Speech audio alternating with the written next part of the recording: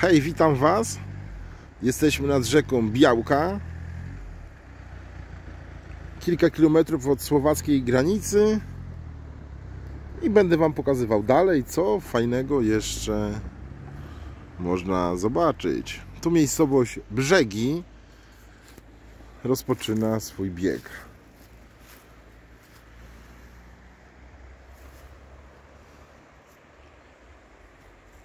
Przepiękna cisza, powietrze niesamowite, czyste.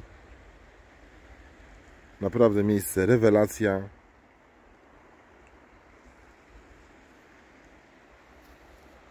Myślę, że jakby była wyższa woda, aby był większy hałas, no i na pewno większe wrażenia, bo jest tak spokojnie.